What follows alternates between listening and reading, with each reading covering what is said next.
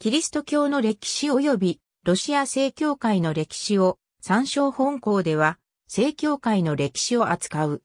古代にはローマ帝国の管区をもとにキリスト教会は4世紀頃から5つの総主教区、ローマ、コンスタンディヌーポリ、アンティオキア、アレクサンドリア、エルサレムに分かれていた。このうちローマを除く4教会、及びグルジア正教会が正教会の最も古い教会として現在まで続いている。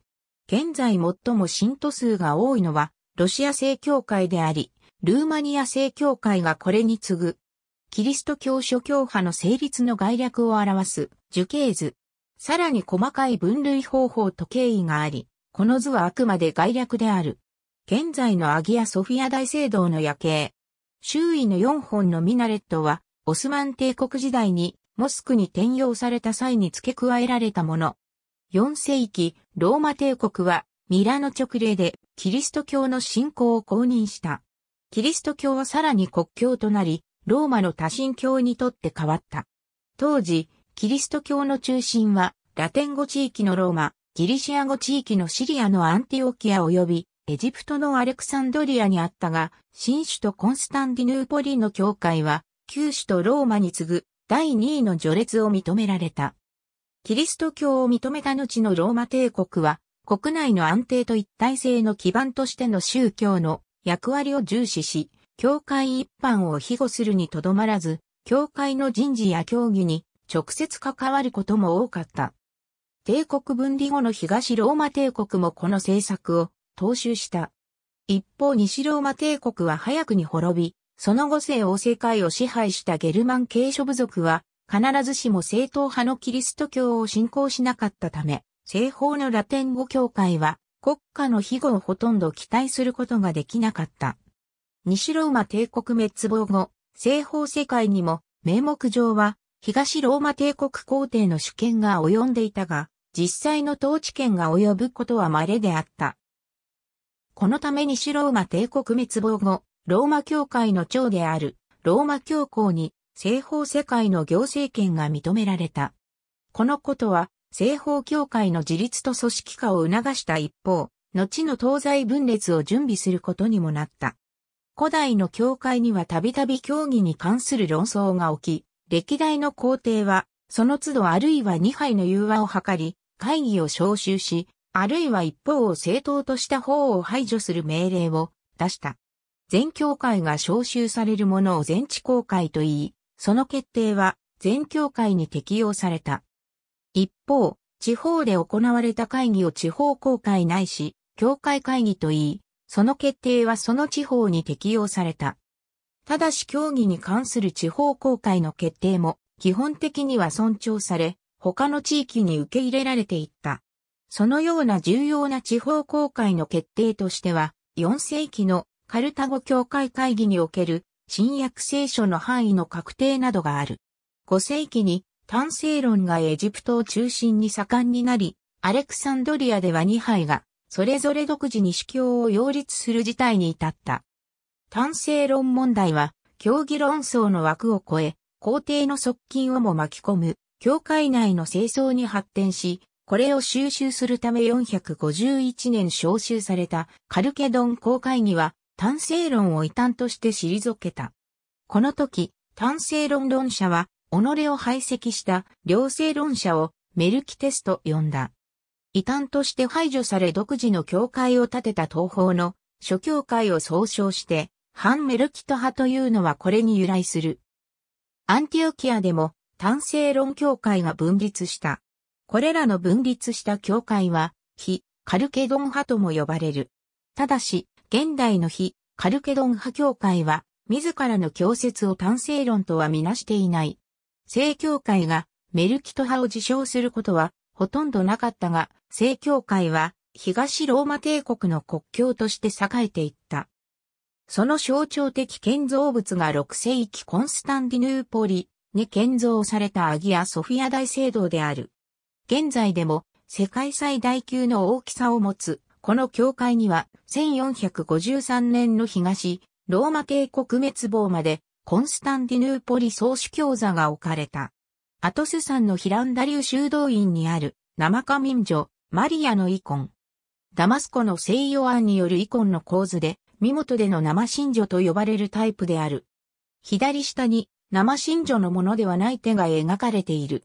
聖像破壊運動の時代、東ローマ帝国皇帝の策略によってイコンを描く手を切り落とされた聖ヨアンであったが、生神女の庇護により手が回復したという奇跡があったと伝えられる。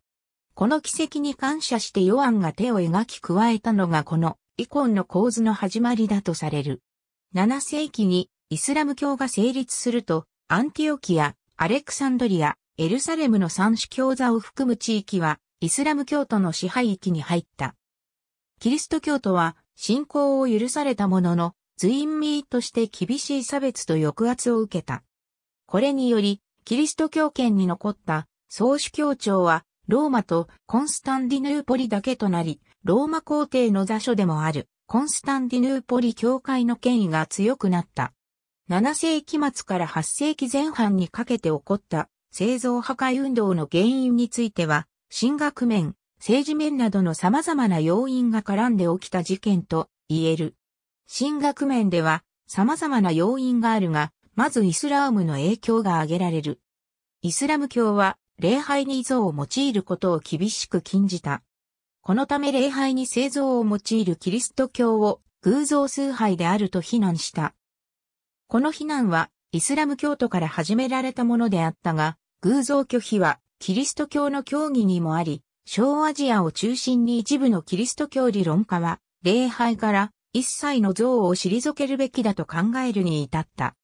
8世紀に入りこの主張は、公然となされるようになり、大規模な製造破壊運動に発展した。製造破壊主義は、伝統的な製造数形と衝突するため教会を2分する論争になった。政治面では、修道士は、遺恨数形を実践また奨励したのみならず、修道院は、製造政策の場であった。修道院の帝国における影響力は絶大であり、皇帝は脅威を感じていた。製造破壊運動は、製造数形そのものに対する大きな打撃となった。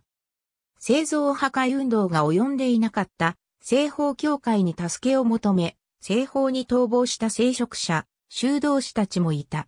皇帝レオン三世は製造破壊主義を支持し、726年、製造破壊令を出した。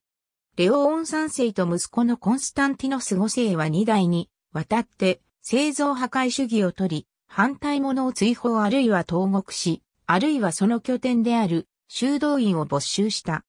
これに対し一般信徒、ことに首都コンスタンディヌーポリや帝国のヨーロッパ側では製造破壊運動をほとんど支持せず、修道士や信徒などは広範な抵抗を見せ、反乱が起きた地方もあった。787年、皇后、エーレネーは事態を収集するため、第七全地公会を招集した。全地公会は製造仕様の協議を確認し、製造破壊主義を否定した。正教会は第七全地公会議を、大時第一手術を、聖教勝利の手術と名付けて記憶し、競技に関する重要な確認がなされた、公会議と捉えている。なお、第七全地公会議は、聖教会が有効とみなす最後の全地公会議である。詳細は、東西教会の分裂を、参照8世紀から12世紀にかけて、フランク王国を中心とする西ヨーロッパの独自の発展に伴い、ロマ総主教を主座とする西ヨーロッパ、北アフリカ管轄地方協会は、その他の地方諸教会との交わりから徐々に離れるようになった。製造破壊運動において、ローマ教皇と東ローマ皇帝が対立したことが、この罹患に拍車をかけた。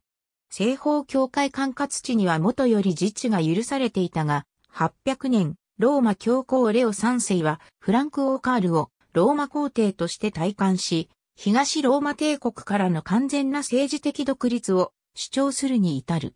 東西交流の衰退は西方における競技の独自な発展を促し、両協会の競技場の際は問題となるまでに著しく開いた。1054年、コンスタンティヌーポリ総主教ミハイル一世キルラリオスとロマ総主教在コールロマ教皇レオ9世はローマ教皇の権威、権限やエキュメニカル総主教の称号が意味する権威についての理解の差が施設交換の際に権限したことがきっかけになり、相互破門した。これを東西分裂、または大シスマなどと呼ぶ。しかしこの時の分裂は決定的なものとは言い難く、東西教会の交流がこの相互破門を境にして唐突に断絶したと考えるのは誤りである。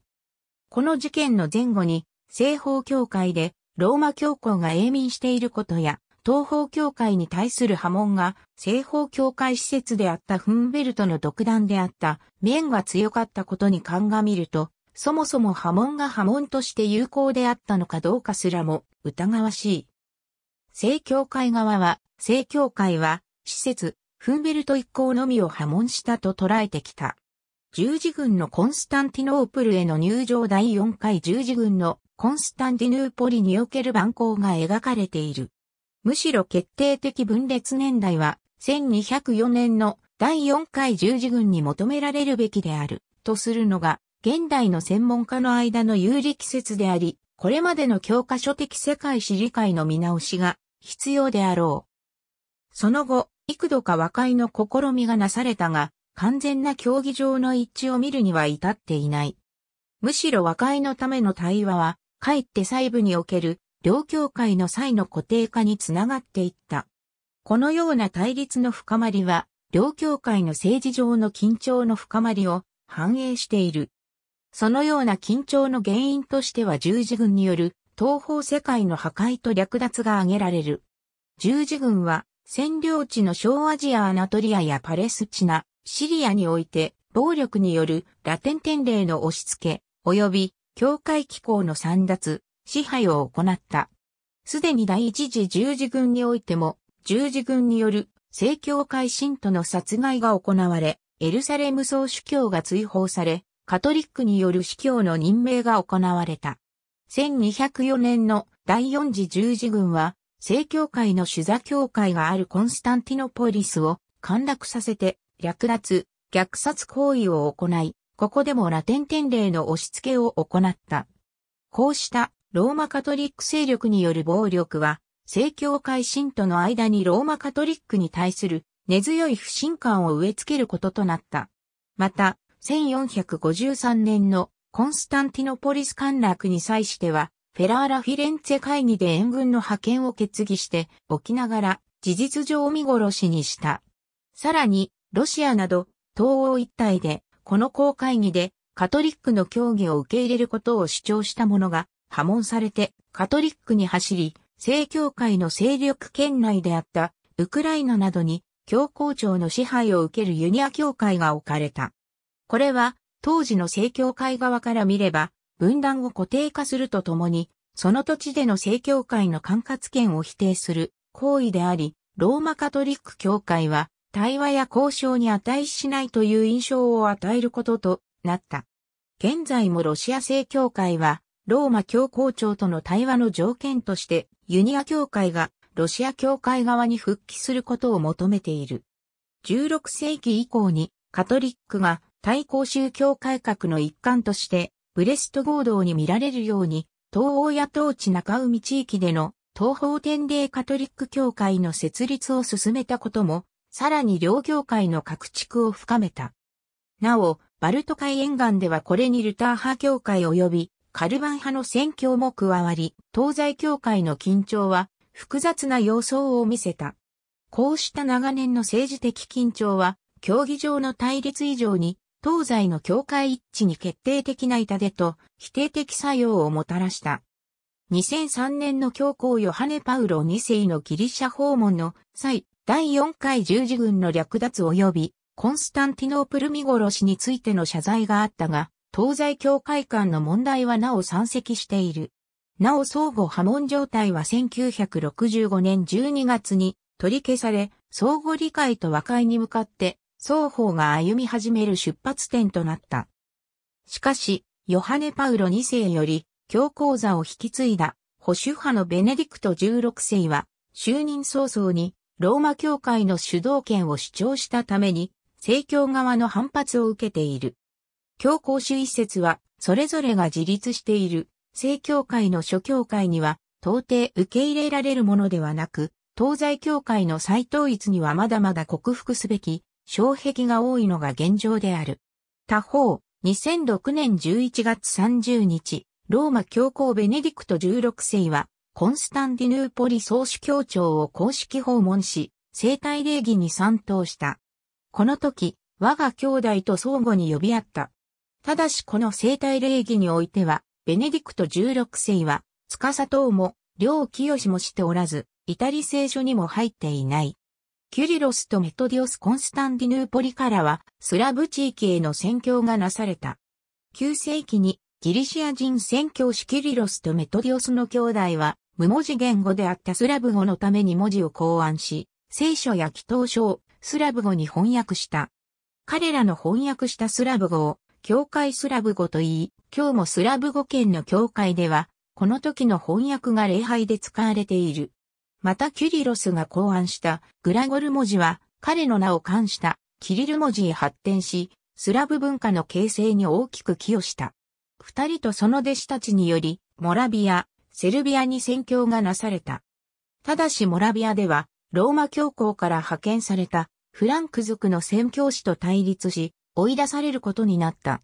トルコ系の遊牧民族ブルガール人がアジアより移住し、7世紀末にブルガリア帝国を建てていたブルガリアにも870年に正教会が建立された。ブルガリアでもスラブ語典礼が行われた。もともと数の少なかったブルガール人はスラブ人と同化し、11世紀頃までに吸収されていった。ブルガリアの支配下にあった現在のルーマニアは古代から正教会に属しており、ラテン語から発展した言語が使われていたが、ここにもスラブ語典礼が強制された。988年には、キエフ大公国のウラジーミル一世が改宗し、キリスト教を国教とした。この時、コンスタンティヌーポリ教会から洗礼を受けたことが、ルーシにおいて正教が優勢となる短所となった。後に、モンゴル帝国やオスマン帝国との対峙を経て、正教会の信仰と典礼は、スラブ民族が民族的一体性を自覚し、また深めていく上で、大きな役割を果たすことになる。グレゴリー・パラマもともと正教会には、神秘思想的傾向が強かったのであるが、この流れを決定的にしたのは14世紀のグレゴリオス・パラマスである。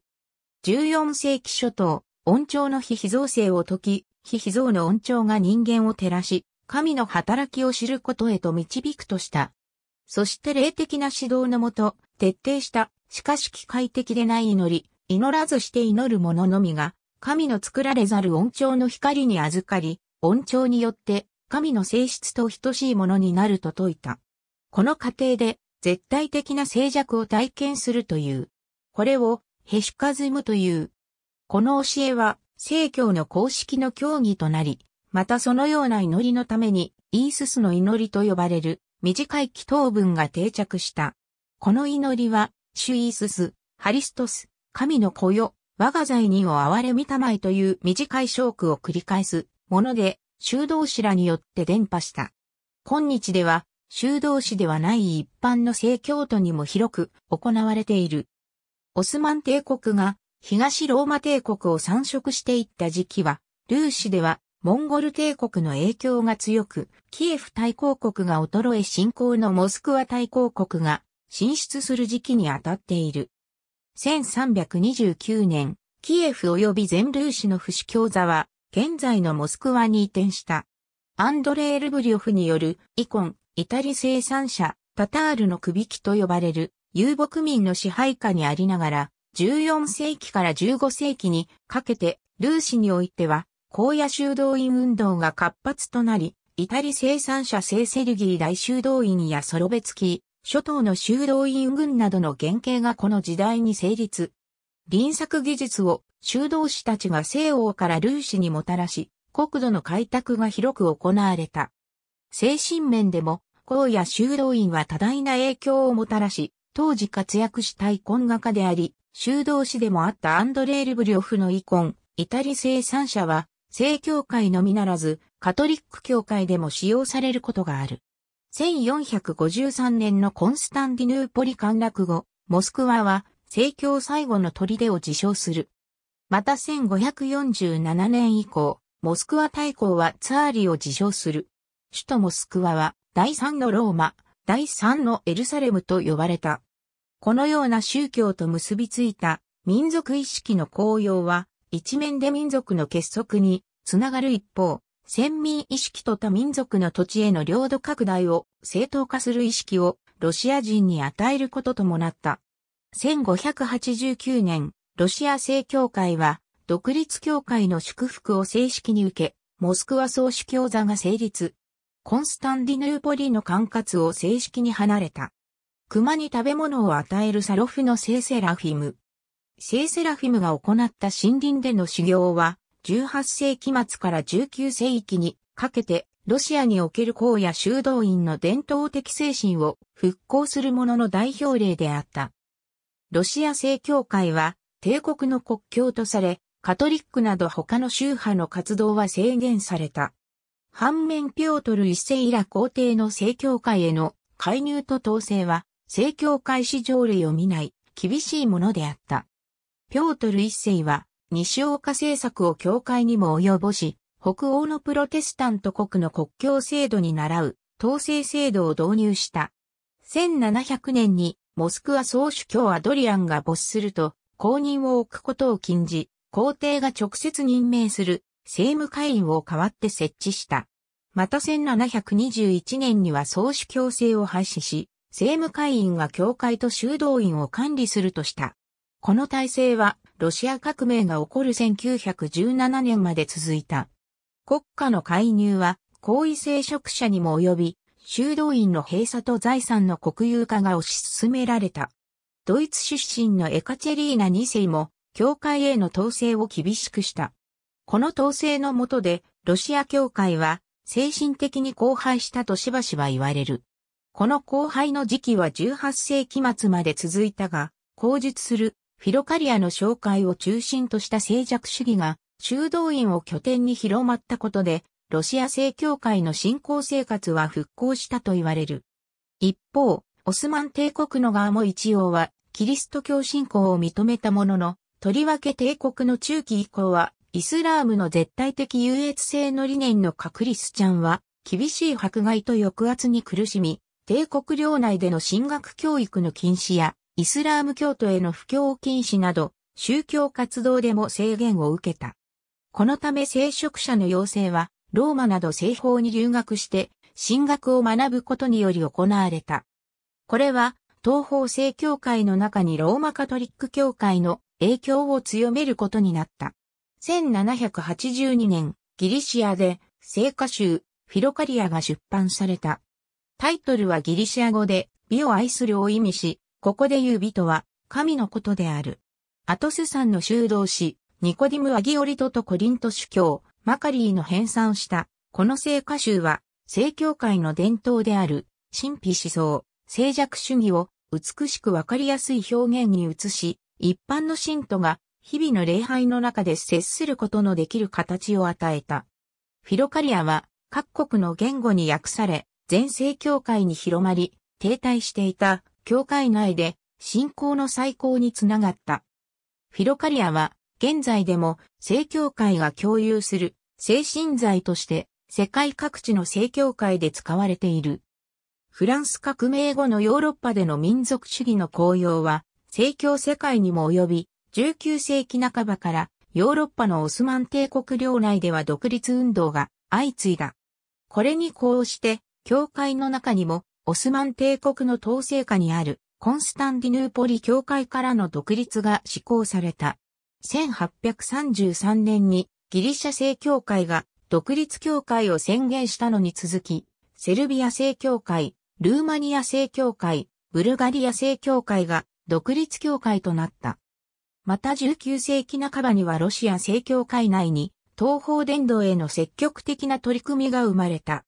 ロシア領となったシベリアやアラスカでの伝道が積極的になされた。シベリア中部の都市イルクーツクが拠点となった。イルクーツク近郊出身の神父イバン・ベニアミノフはアリューシャン列島に伝道した。ベニヤミノフは文章語としてのアリュート語を確立した人物として知られている。伝道のため文字を持たなかったアリュート語の聖書法を確立し、初めての文法書を出版し、アリュート人の協力者と共に聖書をはじめとする宗教文書を翻訳した。日本にも19世紀半ばの開国後、はじめ在函館ロシア領事館付司祭として来日したニコライ司祭により、聖教伝道が行われた。聖ニコライが在外ロシア人のための教会を建設しようとするのではなく、日本人のための聖教会を施行したことにもより、この巻かれた種は1970年に自治教会である日本ハリストス聖教会に結実して今日に至っている。オスマン帝国とロシア帝国における第一次世界大戦はそれぞれの終焉をもって終わった。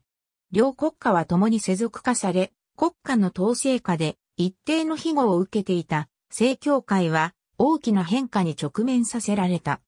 トルコ共和国はコンスタンティヌーポリ総主教座の存続を許したが、総主教はトルコ国籍に限ると規定した。教会領として保障されていた多くの土地は没収された。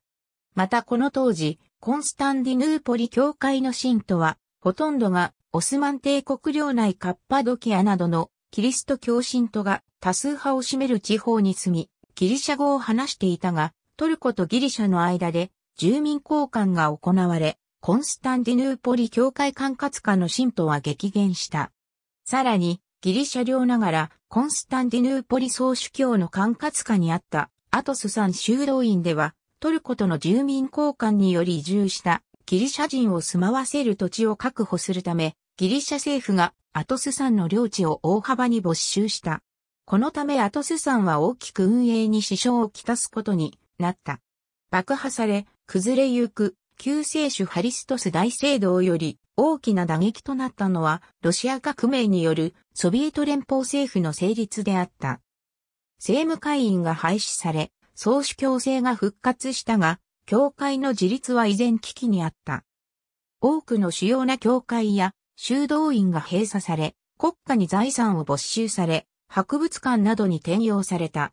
また聖職者や信者が外国のスパイなどの嫌疑で逮捕され、処刑された。当初ボリシェビキ政権に激しく反発していたモスクワ総主教ティーホンは、その後の苛烈な教会弾圧を前にして、スターリン政権を認める姿勢に転じ、一定の協力を行った。それでも教会に対する弾圧は続き、1931年には、スターリンの命令で、救世主ハリストス大聖堂が爆破されるに至った。第二次世界大戦中、祖国防衛に貢献したとの理由で、教会は合法化されたが、教会の活動は著しく制限されており、信徒は社会生活の上で不利に立たされた。また特に革命の初期、政府の迫害を恐れ、多数の亡命者が出た。ヨーロッパや北、アメリカに亡命した信徒や聖職者は、すでに移民していたロシア移民が建てた在外ロシア正教会により、信仰を守った。それによりパリやニューヨークでロシア正教会の神学校が立ち、20世紀における正教のみならず、キリスト教神学研究の一つの中心となった。正教徒の人口分布正教徒が多数派を占める国正教徒が人口の10%以上を占める国正教徒の実数は全世界で2億6千万人から3億人の間と推定されている。現在は伝統的な四大総主教庁の他に、主に正教徒の多い地域では独立国の単位で、独立教会、日本やアメリカのようにある程度の信者数を持つ国では、自治教会が建てられている。自治教会は特定の独立教会の管轄と指導の下で自治を行う。独立教会のうち、古代からの四大総主教に加え、ロシア、グルジア、セルビア、ルーマニア、ブルガリアの各教会の主座が総主教の地位を持つ。諸聖教会は組織的な一致にあるのではなく、完全な自立性を持った諸教会が共通の信仰と伝統と精神性において一致のもとに相互に教会の自立を承認し合った緩やかな連合を保っている。各主教には序列が定められているが、これは赤字や祈祷において、名を挙げる順序などの純粋に名誉上の序列であり、教義に関わるものではない。コンスタンティヌーポリ総主教は、伝統的に全地総主教という称号を有し、正教会における名誉上の第一位の主教として認められている。古代の規定では名誉上の第一位の主教であるローマ主教座が正教諸教会の交わりから離れたことから、このように称する。しかし、正教会における全地総主教は、世界の諸正教会の上に何らかの強力な権限を有するものではなく、名誉上の地位である。したがって、教皇主義説を主張するローマ教皇とは、主義の意味が異なる。地の上の旧聖主教会の夜景ロシアやセルビアといった旧教三県では、1990年代の共産党政権の退陣後、国家の統制が取り払われたことから、正教会の活動が再び盛んになっている。特に、セルビアでは、紛争の後、元兵士を含め、教会の活動に熱心に参加する青年が増加している。一方で、旧ユーゴスラビアでの紛争の過程で宗教の違いが対立として懸念された悪影響も否定できない。これはコソボなどで特に深刻な問題を引き起こした。また、宗教全般への規制が撤廃されたことで多宗派との勢力争いなども見受けられる。特にロシアでは米国資本に裏付けられた福音派の大量構成やウクライナなどでの東方天霊カトリック教会の活動も活発になっている。このため、ロシア正教会は大きく反発し、保守化する傾向を見せている。アメリカでは、コンスタンティヌーポリ管下の教会の他に、ロシア正教会系、ギリシャ正教会系、アンティオヒア総主教座系の教会、独立教会であるアメリカ正教会などがあり、それぞれ協力し合いつつ活発な伝道活動を行っており、これらの諸教会は統合を模索しつつある。現在、これらの教会の共同作業により、新約聖書及び聖への研究版英訳聖書が刊行されており、70人訳聖書の研究版英訳聖書も2008年に刊行された。ありがとうございます。